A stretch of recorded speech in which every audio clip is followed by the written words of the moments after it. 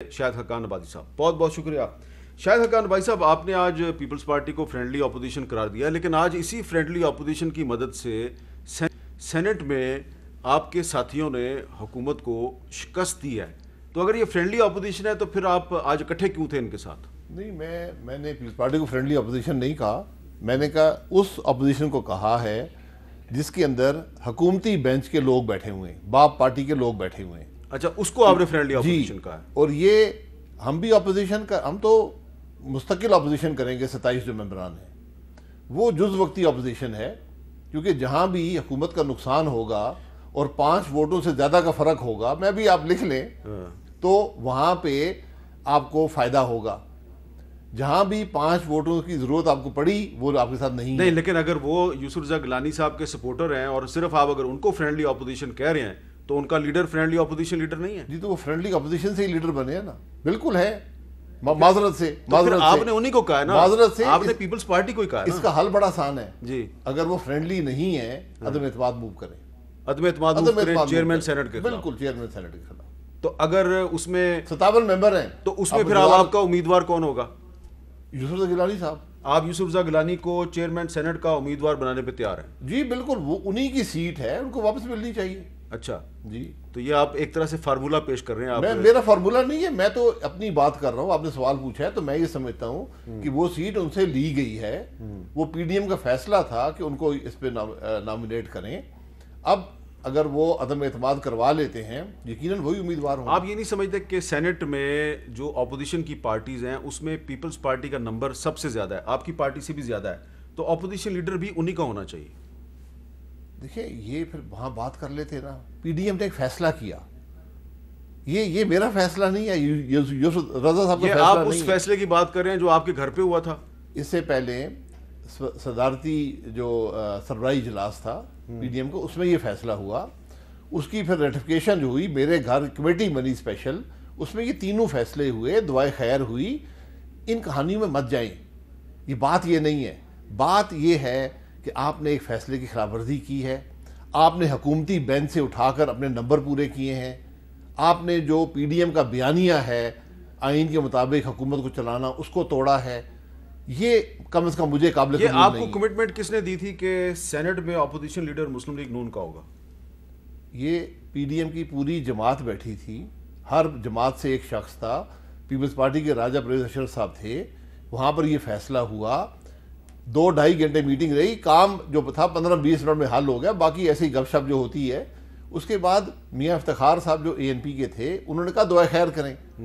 इसमें दुआ खैर भी होगी हालाँकि अच्छा लेकिन नहीं इस होता। मीटिंग के अगले दिन राजा परवेज अशरफ साहब ने आपको फ़ोन करके ये नहीं कहा था कि जी वो जो कल आपने बात की अपोजिशन लीडर वाली वो पक्की नहीं है? जी मुझे बहुत से फ़ोन आए मैंने कहा पीडीएम में ले जाएँ। अच्छा। पीडीएम फैसला कर चुकी है।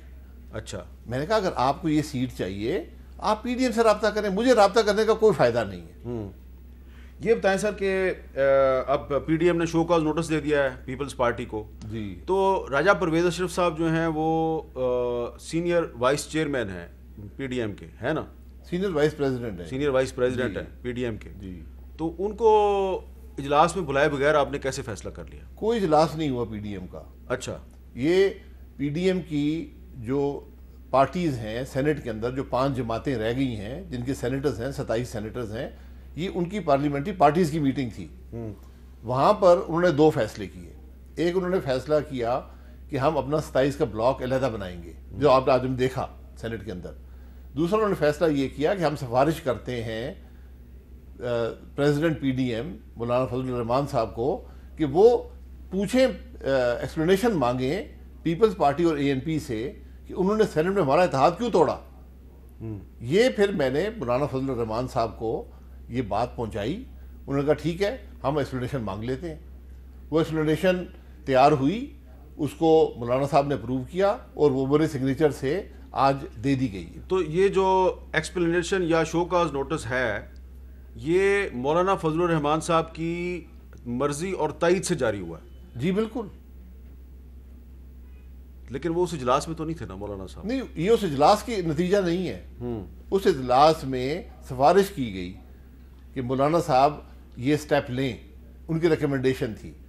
मैंने वो जाके मौलाना साहब को पहुंचाई फ़ोन पे पहुंचाई फिर डिस्कशन भी हुई ज़ाती तौर पर।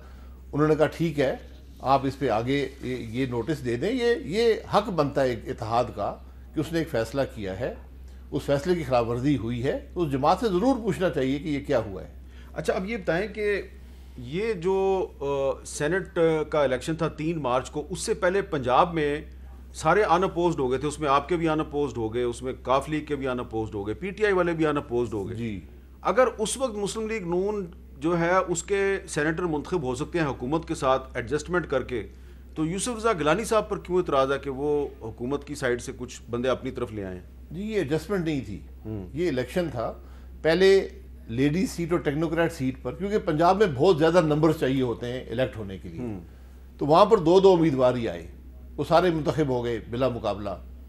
जो जनरल सीटें थी उस पर हमारे पास फालतू नंबर्स थे। यानी जो तीन हमारे इलेक्ट हो रहे थे उसमें हमारे पास फालतू नंबर्स थे।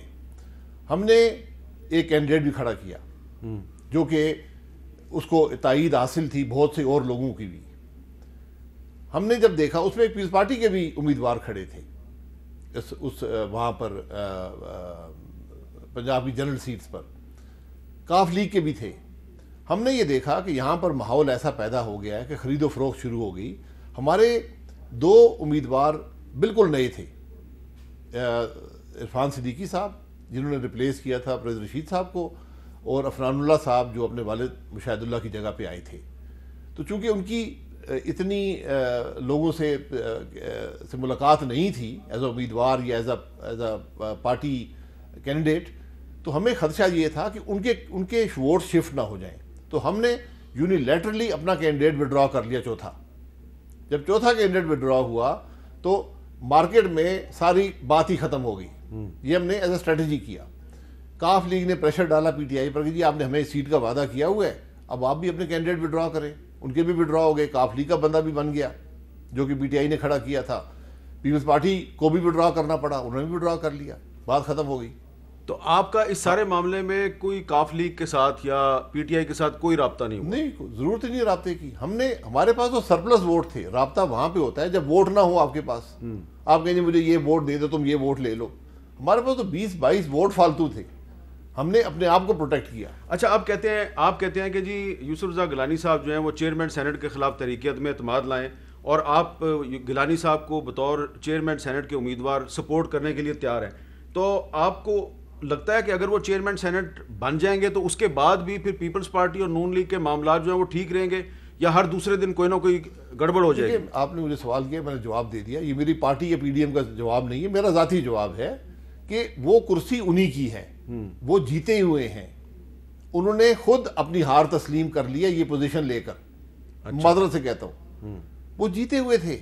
हर लिहाज से जीते हुए हैं। मुझे आज भी तो है कि सुप्रीम कोर्ट में जब बात जाएगी वो जीत जाएँगे। उनको इंतज़ार करना चाहिए था। मैं गिलानी साहब का वोटर भी हूँ और सपोर्टर भी हूँ। वो इस बात को जानते हैं। हम्म। मैंने मेरी जमात ने तिरासी वोट उनको सेनेट के इजला में दिए कौमी असम्बली में। उसके अलावा हमने दिन रात उनके लिए काम किया। फिर हमने चेयरमैन सेनेट के मामले में दिन रात उनके लिए काम किया।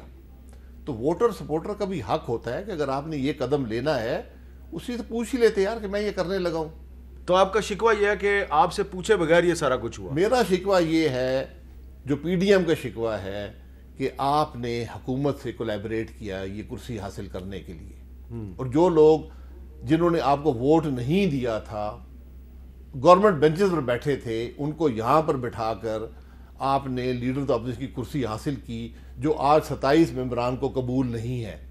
आप आपकी सब... उनकी इज़्ज़त ज़्यादा होती अगर वो पीडीएम के फैसले पर बरकरार रहते या पीडीएम से कहते फैसला तब्दील कर लो।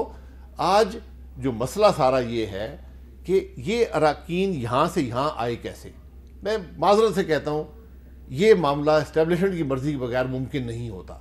तो अब आप एक और इल्ज़ाम लगा रहे हैं यूसुफ रजा गिलानी साहब पे कि उनको अपोजिशन लीडर बनाने के लिए इस्टेब्लिशमेंट ने उनकी दरपर्दा हमायत की मैं मैं मैं इल्ज़ाम नहीं लगा रहा लेकिन कह तो दिया आपने। नहीं मैंने मैं इल्ज़ाम नहीं लगा रहा लेकिन मुझे कोई दुनिया में ऐसी मिसाल बता दें कि गवर्नमेंट के बेंचेस से जिन वोटों ने आपके खिलाफ जिन लोगों ने आपके खिलाफ वोट दिया हो वो उठकर आकर अपोजिशन बेंच पे आपको अपोजिशन लीडर मान लें।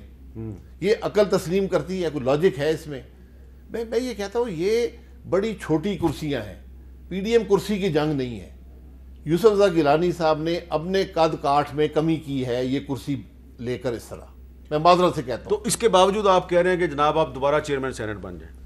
भाई अब तो मैं अपनी ज़ाती राय दे रहा हूँ कि उनका हक बनता है। लेकिन अब जो उन्होंने किया है इसके बाद क्या बाकी पीडीएम उसको सपोर्ट करेगी या नहीं करेगी ये वक्त ही बताएगा। अच्छा लेकिन शायद हकान अब्बासी साहब सपोर्ट कर रहे हैं।